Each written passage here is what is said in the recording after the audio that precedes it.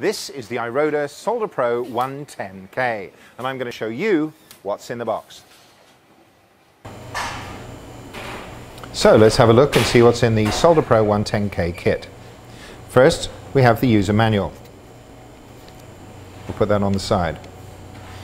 Now here we have the 110K torch and that comes with a safety stand. It also comes with an insert so this metal insert will protect the case if you put the soldering iron back in while the tip is still hot. There's a spare valve here. We have some solder core, a sponge, a wide soldering tip, a hot air blower tip, and finally a hot knife tip.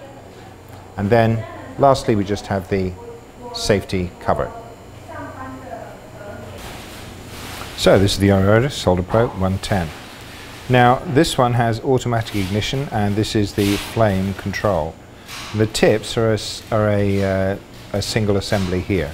So you need to remove the whole assembly to change the tips. And I'll show you how to do that. It's very easy. You simply unscrew here.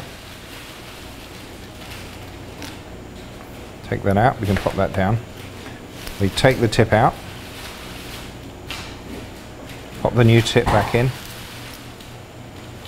And then screw in the assembly again.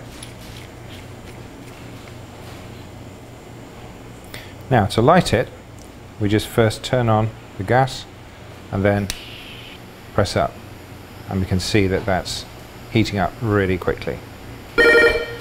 Now to turn it off, turn off the gas and pull that back. Now an additional safety feature on this is that you have the special safety cap. So even when it's hot, you can just pop the safety cap on. And when the cap is on in this position it won't you won't be able to turn this, the torch on so it's perfectly safe